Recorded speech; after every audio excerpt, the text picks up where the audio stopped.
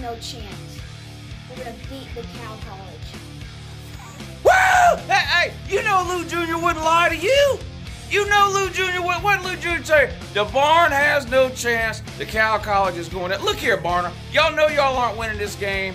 I mean, you have zero chance to win this game. But, but, the icing on the cake, Lou Jr.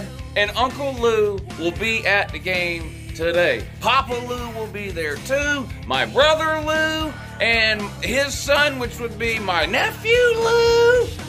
There's no way Georgia lets us down with this many Lous in attendance at this game. So sorry for your trouble, Barn. I know i made the regular Hape and Hype video yesterday, but we're getting ready to hit the road to head to Athens today. Uncle Lou, Lou Jr., we will all be up there probably around noon today. But we'll be there all day uh, before the game. So come see me. Say hello to Uncle Lou.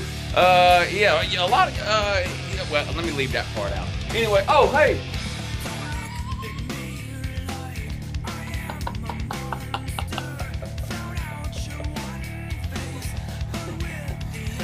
Hey, how many times do you think we'll sack uh, Jarrett today? Hey, Auburn had, uh, how many rushing yards Auburn have against Texas A&M? Something like 19, uh, 19 rushes, 21 yards. Eh, maybe they get to 50 today.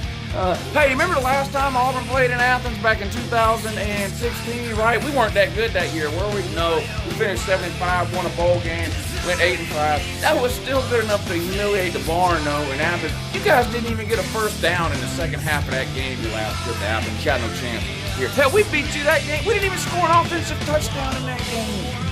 And we beat you. We had a defensive touchdown and two field goals by the greatest field goal kicker in the history of mankind. Hot Rod Rodrigo Blankenship. He'll be there again today, ladies and gentlemen. Uh, we may let him kick a field goal or two as well. Feel sorry for you instead of running it in uh, for six points every time. You may let him get uh, you may let him get some work today. Uh, hashtag hot rod for Heisman. But yeah, come see Uncle Lou today in, uh, in, in Athens. And again, Barner, uh, sorry for your loss.